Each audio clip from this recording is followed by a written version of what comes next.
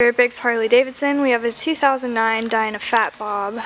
This bike comes with lots of upgrades. We have axle nut covers, highway pegs, foot peg, shifter peg, brake pedal, Vance and Hines exhaust, a Mustang seat, upgraded cam cover, battery cover, lights, grips, levers, and it has 23,959 miles. If you have any questions about this bike or you want to take it for a test ride, give us a call here at Biggs Harley Davidson in San Marcos.